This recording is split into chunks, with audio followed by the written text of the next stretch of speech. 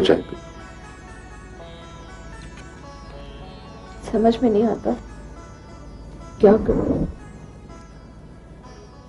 मुझे लगता है कि समीर को तुम्हारे इनकार से दुख होगा। और मेरे इकरार से?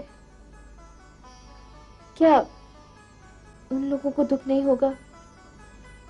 जिन्हें हम रोज उम्मीद की नई किरण दिखाते हैं। क्या वो लोग अकेले नहीं पड़ जाएँगे? और आप? मेरा क्या है? जहाँ तुम वहाँ मैं। पर फिर भी एक बार अच्छी तरह से सोच लो। समीर के प्रति हमारे जो कर्तव्य थे वो हमने पूरे किए हैं। और अब उन लोगों के लिए जो हमारे फ़र्ज़ है वो पूरे करने हैं।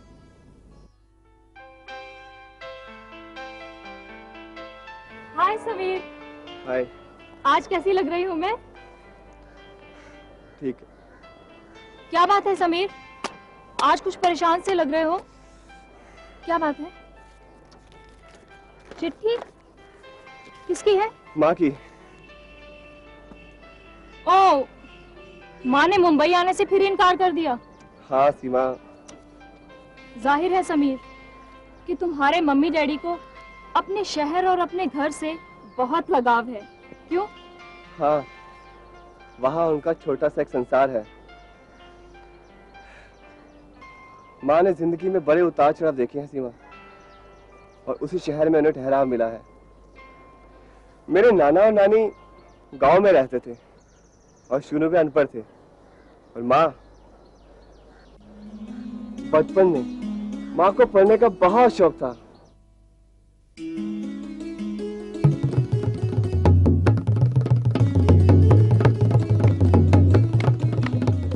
मामा मैं भी स्कूल जाऊँगी। बेटी तू पढ़ लिख कर क्या करेगी? लड़की है चल चूल्हा फूंक। पर माँ और लड़कियाँ भी तो स्कूल जाती हैं। कहा ना ज़्यादा बकबक नहीं कर। गंगा को पुआल दे। जा।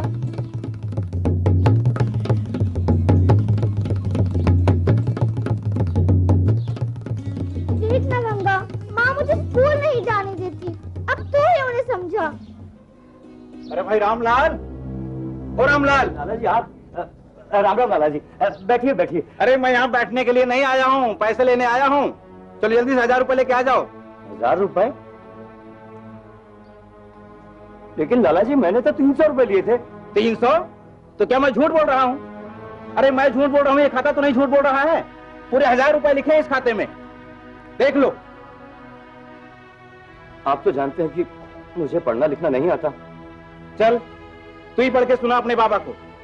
कितने रुपए लिखे इस खाते में? हम्म ए भी काला अक्षर भैंस बराबर। हाँ मैं जल्दी से हज़ार रुपए लेके आ जाओ लाला जी अभी मेरे पास पैसे नहीं है। पैसे नहीं है तो क्या हुआ? ये बचिया तो है। पापा पापा उन्हें रोकिए ना। लाला जी छोड़ दीजिए ना। लाला जी गंगा को छोड़ दीजिए।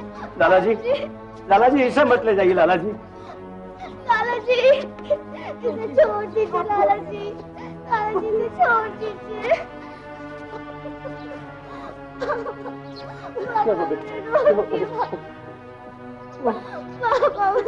चुप हो जा बेटा चुप हो जा देखा। अगर आज आप पढ़े लिखे होते तो बनिया हमारी गंगा को कभी नहीं ले जाता। क्या दादा पर दादा?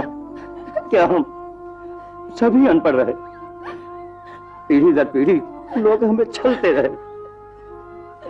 और इसी तरह हमारी सारी जायदाद लुटती रही। कुछ कुछ ही मुंशी लोग खा गए और कुछ कुछ ही लाला लोग। मुझे पढ़ाओ ना। हाँ बेटे मैं तुझे ज़रूर पढ़ाऊँगा। ज़रूर पढ़ाऊँगा बेटी मैं तुझे ज़रूर पढ़ाऊँगा।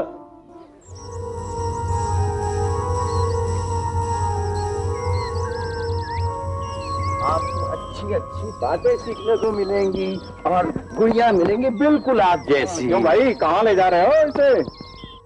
स्कूल। कलेक्टर बनाना है क्या? सत्यानाश हो इस सरकार का। अगर सब पढ़ लिख जाएँगे तो अपना क्या होगा?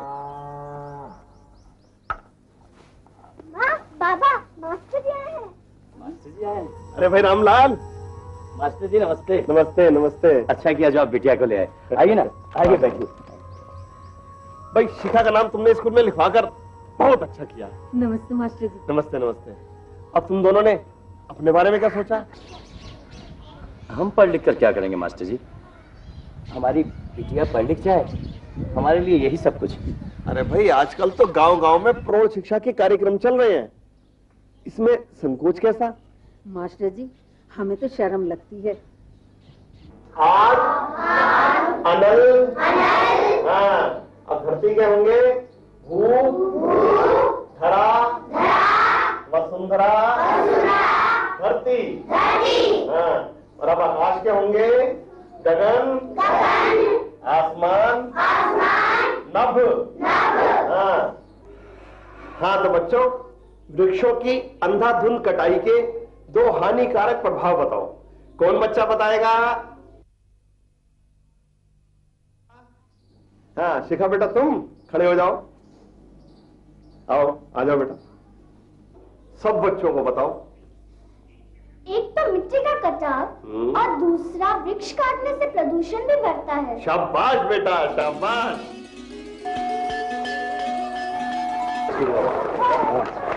तो कैसे हो रामलाल ठीक हूँ आप सुनाइए। अच्छा रामलाल मैं भी तुम्हारे घर ही आ रहा था। जी कहिए। वो है कि मेरी बदली रामपुर हो गई। आपकी बदली रामपुर हो गई? ये कैसी खबर सुना रहे हैं मास्टर जी? आप रामपुर चले जाएँगे तो शिक्षा बिटिया की पढ़ाई का क्या होगा? वो तो तुम्हें जारी रखनी ही होगी समझे? हाँ शिखा बिटिया हमेशा की तरह मन लगाकर पढ़ाई करना है? जी मास्टर जी।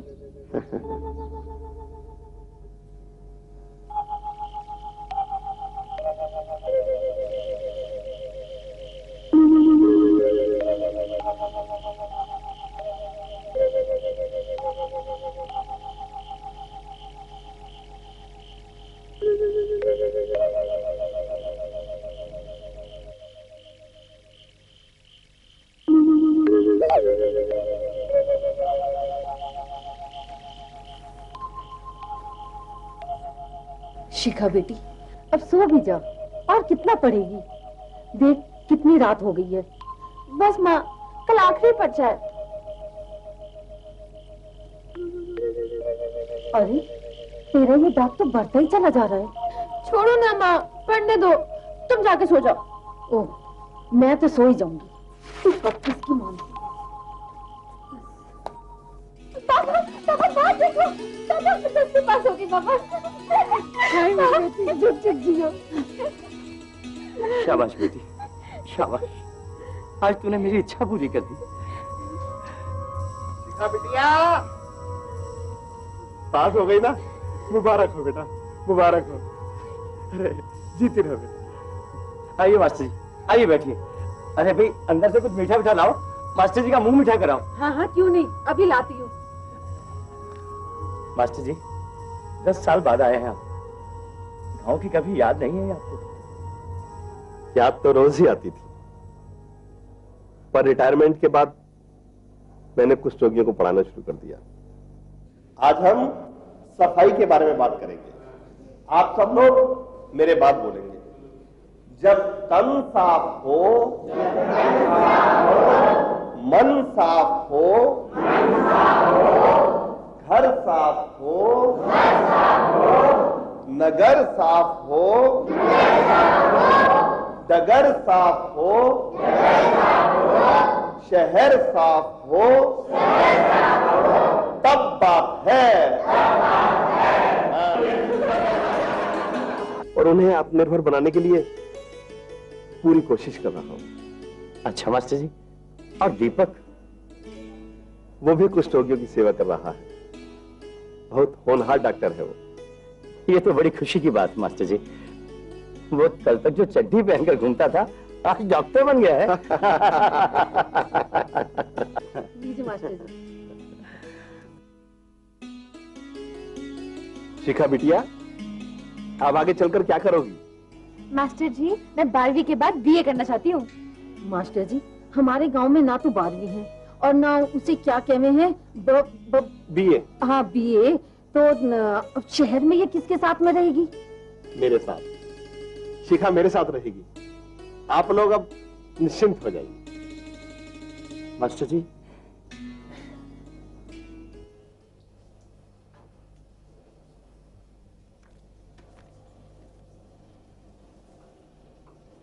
मास्टर जी चाय बेटी। मेरा स्कूल कैसा लगा? बहुत अच्छा है मास्टर जी। अरे ये ये दाग कैसा है बेटी?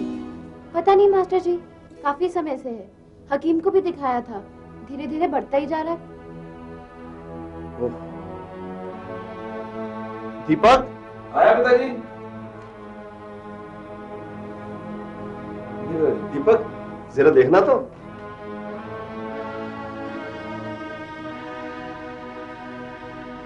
कब से आई? ये कोई दो एक साल से। महसूस हो रहा है कुछ? नहीं। ठंडा गर्म लगता है? नहीं।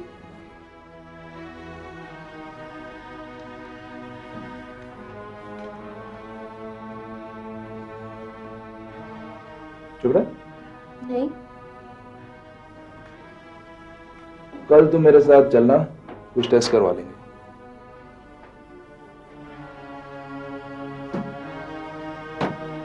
रामलाल मास्टर जी सब ठीक तो है ना? क्या बात है अचानक हमें तार देकर बुलवा लिया शिखा ठीक तो है ना? हाँ हाँ सब ठीक है। दरअसल आपको बताना ज़रूरी था। क्या बताना ज़रूरी था? अरे पहले आप बैठिए तो सही। आइए। असल में शिखा बिटिया को कुछ रोग है। क्या? शिखा को शिखा को कुछ हो? गए लेकिन कैसे? शिखा बिटिया के हाथ पे सफ़ेद दाग है ना? हाँ हाँ।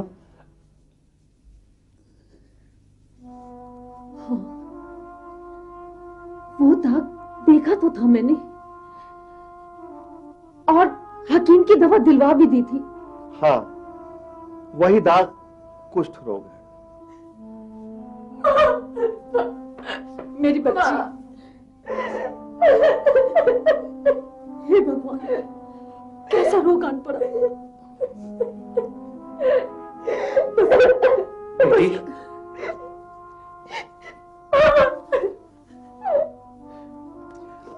ना रो रही बेटी। हम है ना।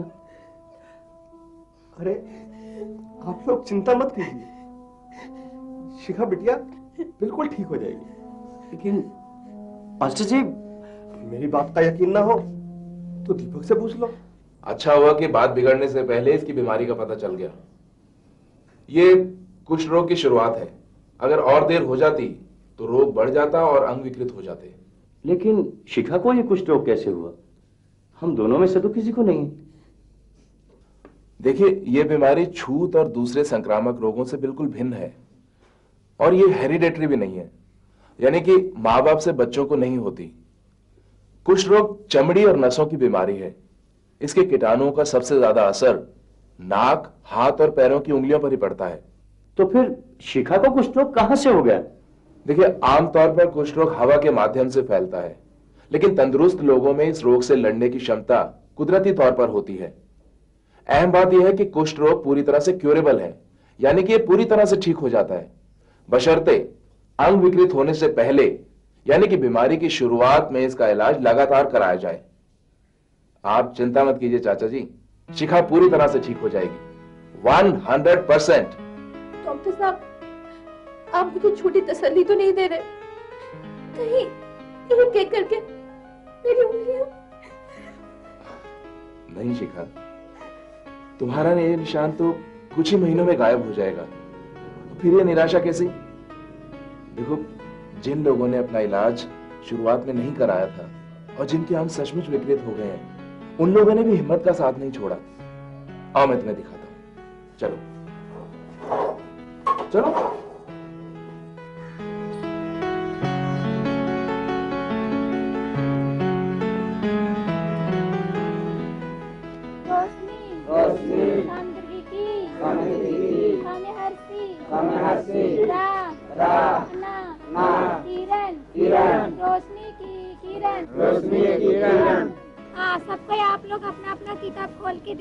आगे देखते हैं।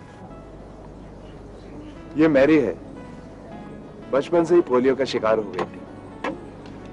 लेकिन इसने दया का पात्र बनने के बजाय आत्मनिर्भर बनने का फैसला किया। आगे? और अपनी पढ़ाई जारी रखी। और अब टीचर बन गई है। और ज्ञान का प्रसाद बांट रही है।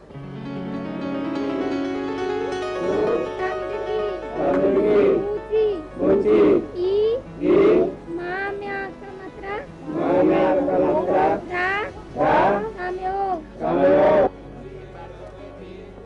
नमस्ते डॉक्टर साहब। नमस्ते जोसेफ। कैसे हो? ठीक है सर। ये जोसेफ है मैरी का पति। इन्हें भी कुछ रोग था था जी अब मैं बिल्कुल ठीक हूँ। क्योंकि इन्होंने बीमारी का इलाज शुरुआत में ही करा लिया था। लेकिन आपको पता कैसे चला कि आपको कुष्ठ रोग था? एक दिन मैंने अखबार पढ़ा और पता चला कि कुष्ठ रोगी का लक्षण क्या होते हैं। और फिर उसके बाद डॉक्टर से सलाह लिया और इलाज करके बिल्कुल ठीक हो चुका हूँ। शाम के वक्त शाम के वक्त सब मिल बैठते। सब मिल बैठते दोनों में बड़ी दोस्ती थी बड़ी दोस्ती थी दोनों दोनों साथ साथ साथ साथ मजदूरी पर मजदूरी पर जाते थे। जाते थे दिन भर दिन भर देखो इन कुछ रोगियों को कितनी लगन से पढ़ रहे हैं हाँ? लेकिन इन्हें पढ़ने से फ़ायदा क्या है? फ़ायदा? भाई आत्मसम्मान और आत्मनिर्भरता से बड़ी पूंजी भला किसी के पास और क्या हो सकती है? तुम खुद ही इनसे क्यों नहीं पूछ लेती? हुँ? भाई साहब हाँ बोलिए।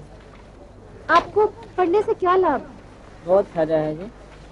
जैसे हम चिट्ठी पढ़ लेते हैं अपने घर का सब हिसाब कर लेते हैं।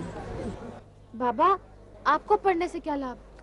पढ़ना मनुष्य जब जन्म लेता है तो उसे शिक्षा का ज्ञान नहीं होता। और जब ज्ञान नहीं होता तो अधूरा रहता है तो उस समय वो अंधा होता है। अब शिक्षा का ही परिणाम है कि हम क्या हैं, नहीं हैं, हम आत्मनिर्भर कैसे बनेंगे? ये हवाई जहाज़ या विज्ञान, कला और कॉमर्स, ये सब जितनी चीज़ें हैं, सब शिक्षा का है। यहाँ कुछ लोग सिलाई करने, पट्टी बनाने, जूते बनाने खेती बाड़ी करने के अलावा यहाँ रोज पढ़ने भी आते हैं। ताकि जो भूल उनसे निरक्षर रहकर हुई है। वो दोबारा न हो। कौन सी दवाई खानी है, कब खानी है, अपना ध्यान कैसे रखना है? ये सारी बातें भी इन्हें साक्षर होकर ठीक से समझ में आती हैं। अपने अपने क्षेत्र में नई नई टेक्निकों के बारे में ये पुस्तक पुस्तिकाओं में पढ़ सकते हैं। उन्हें अडॉप्ट कर सकते हैं। और फिर एक नए जोश के साथ जीवन का आनंद भी ले सकते हैं। जैसे अच्छे विचार और भाव आत्मा के लिए अमृत हैं। वैसे ही साक्षरता दिलो दिमाग के लिए अमृत है। कौन जाने? इनमें ही कोई बड़ा कवि या बड़ा लेखक छुपा हो?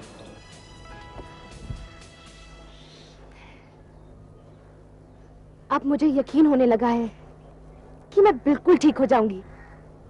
और और मैंने निश्चय किया है कि पढ़ाई पूरी करने के बाद मैं भी यहाँ आकर पढ़ाऊँगी। सच? मास्टर जी शिखा का ख्याल रखिएगा। अरे ये भी कोई कहने की बात है। शिखा बिटिया अपनी खबर भेजती रहना मैं तो रोज एक पत्र लिख दूँ बाबा मगर एक शर्त पर। हाँ हाँ। आप दोनों अपना नाम प्रौढ़ शिक्षा केंद्र में लिखवा लो। बेटी इस उम्र में ना दो बाबा तुम तो मेरी बात मान लो। अरे हाँ रामलाल मेरी बात तो नहीं मानी। बेटी की तो मान लो। चाचा जी आप तो अपना नाम प्रौढ़ शिक्षा केंद्र में लिखवा ही लीजिए। प्लीज़ बाबा। तुम सब कहते हो तो मैं अपना नाम लिखवा लूँगा। अब तो खुश हो ना? बेटी। आसमान। अब आपने देखा आस और मान दो शब्द हो गए। इसी तरीके से अगर आप आ को हटा दीजिए तो कौन सा शब्द बचेगा? रामलाल बताओ। समान। सामान। ये सामान कौन सा सामान है? ये मेरा सामान है जो कुली उठाता है जो हम खुद उठाते हैं ठीक है? इसी तरीके से आ की मात्रा जब ना को लगा देते हैं तो क्या बन जाता है? आन। बोलिए सब। आन। परंतु ये याद रखिए अ को लिखते हैं। अ आन। अ को आ की मात्रा और न। तो आप हमेशा आ की मात्रा से पहले क्या लगा देते हैं? अ। अब आपने देखा इसमें कितने शब्द निकले? पाँच शब्द। अरे शिखा की माँ। हाँ, क्या बात है? बड़े खुश दिखाई दे रही हो? मास्टर जी की चिट्ठी आई है क्या लिखा है इसमें? हमारी शिखा तो ठीक है ना? अरे हमारी शिका तो ठीक है। उन्होंने अपने बेटे के लिए हमारी शिखा का हाथ मांगा है। सच? शिखा मास्टर जी के घर जाए इससे बढ़कर और खुशी की क्या बात हो सकती है? और उन्होंने ये भी लिखा है कि अगर हमें ये रिश्ता मंजूर है तो हम फ़ौरन वहाँ चले आए।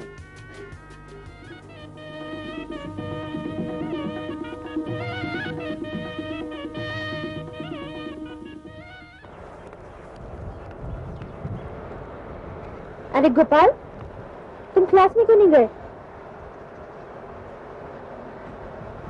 मैं क्या करूँगा पढ़ लिख कर? मेरी तो उंगलियाँ ही विकृत हो चुकी है। मैं अब जीना नहीं चाहता दीदी। नहीं गोपाल ऐसे हिम्मत नहीं हारते आप लोग जब भी दुकान पे जाते हैं तो कोई भी चीज़ पैसे देकर ही खरीदते हैं ना?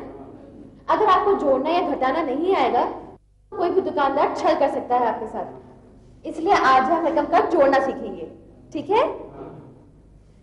एक रुपए में कितने पैसे होते हैं? शाबाश। तो पाँच जमा पाँच हुआ दस। हासिल हुआ एक। सात और एक कितना होता है? आठ। आठ और दो? दस। यहाँ हासिल हुआ एक। एक जमा शून्य कितने रुपए हुए? एक रुपया।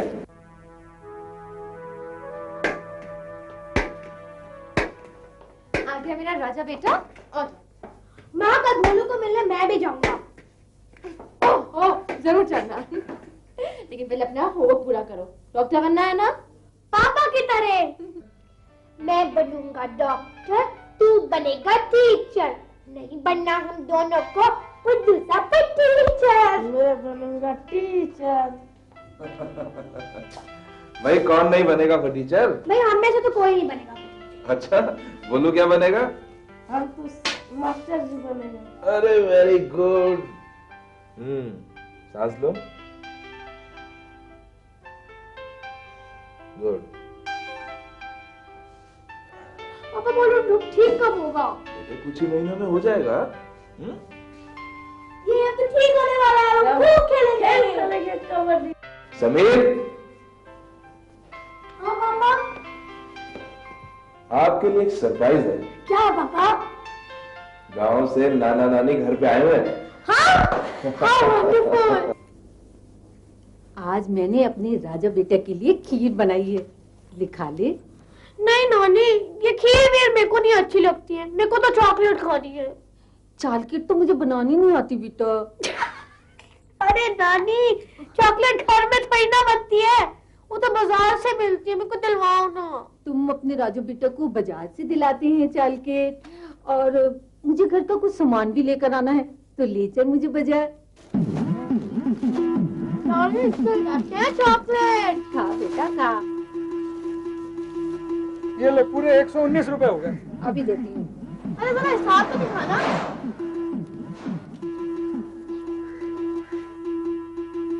अरे नानी ये तो आपसे पूरे नौ रुपए ज़्यादा ले रहा है।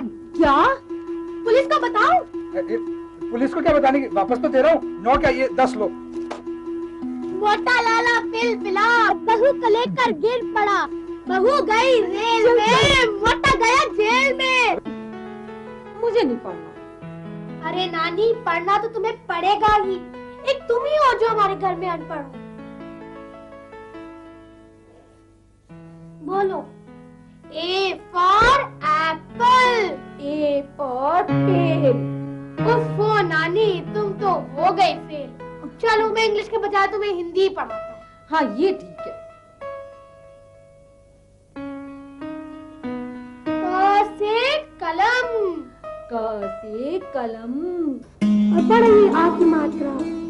तो हो गया ये चिड़िया। चिड़िया। थैंक यू कि बड़े होके समीर भी हमारी तरह कुछ लोगों की सेवा करेगा है ना? हाँ क्यों नहीं? ज़रूर करेगा। क्या करूँ? क्या करूँ समझ नहीं आता। हाँ समीर। और तुम्हारी प्राइवेट प्रैक्टिस भी तो कितनी अच्छी चल पड़ी है। इतने सारे पेशेंट्स हैं। क्यों? हम्म।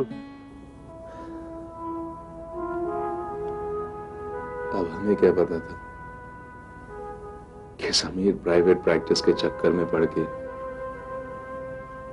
अपने परिवार को ही भूल जाएगा।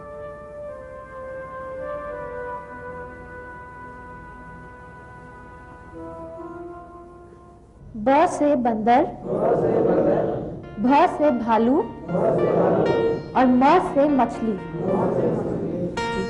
अब आप लोग सब अपनी कॉपियों में लिखकर मुझे दिखाइए।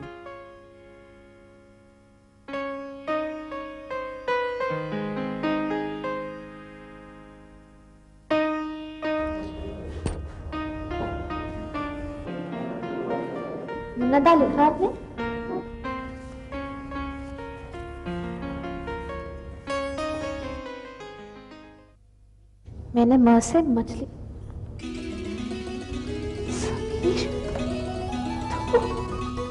माँ मैं आ गया माँ। हमेशा के लिए।